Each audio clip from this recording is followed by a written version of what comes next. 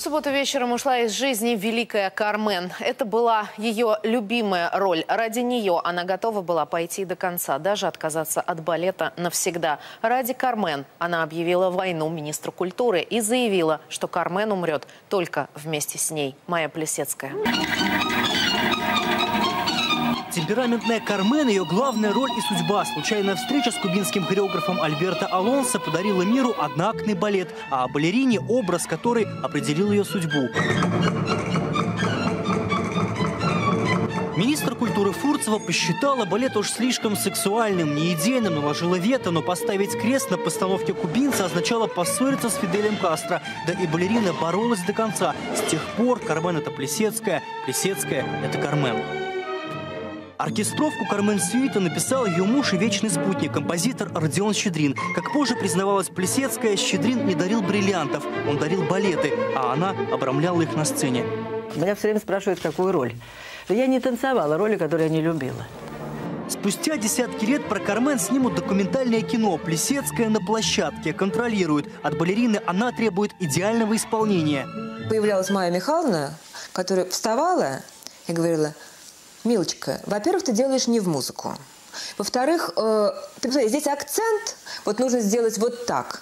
И она показывала, как это должно быть.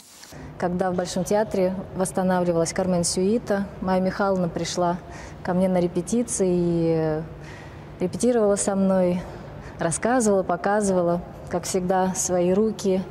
Ее Кармен родом из детства. Отца расстреляли в 38-м. Ее мать репрессировали. Маленькая Майя жила у тети в коммуналке сразу за Большим театром. Уже тогда она понимала, кем хочет быть. Она всегда там э, очень старалась уединиться, а когда она попадала на, на люди, она все время что-то представляла.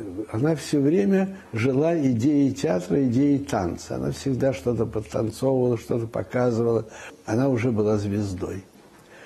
И это звездность, которая ей э, сопутствовала, она э, накладывала отпечаток на весь ее характер. Она встала на пуанты в 8, потом годы хореографического училища, выпуск и желанная сцена Большого. В главный театр страны Майя Плесецкая пришла в 43-м и осталась на полвека. И у любого человека, даже не очень любящего балет и знающего, что такое балет, если вы спросите, кто такая Майя Михайловна Плесецкая, они вам скажут «балерина», которая работала в Большом театре. И мы еще до конца не можем понять, какую великую эпоху мы потеряли. У юной Майи отмечали уникальные данные. Большой шаг, высокий прыжок, великолепное вращение, артистизм, темперамент. Уже спустя пару лет в Большом она танцует только главные роли. Плесецкая ломала стереотипы и на сцене, и в жизни считала, что в 30 карьера балерины заканчивается. Но на бис она выходила и в 40, и в 50, и в 70. Руки – это крылья, в Лебедином озере – это крылья. Это большие крылья, метущиеся, трепещущиеся, какие угодно, но крылья и крылья свои. А не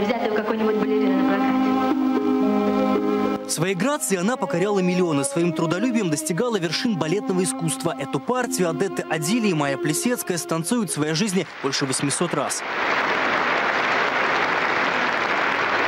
Как балерина Майя Плесецкая терпеть не могла сладости, но обожала пиво и селедку. Свою карьеру она видела на сцене и в пуантах, но отчаянно болела за футбол. Как потом скажет Плесецкая, всю жизнь она пробивала стены. Плесецкая – это бунтарь бунтарь в искусстве, потому что она против рутины, она за новое. Она первая стала сотрудничать с зарубежными хореографами. Она говорила э, мне, э, что отдыхала я только на сцене.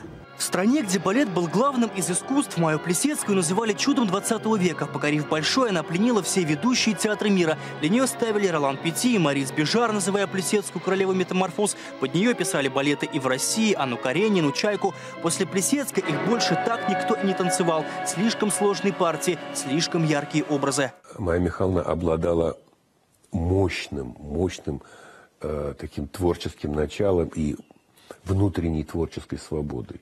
Она была абсолютно независима и имела на это право, абсолютно имела право.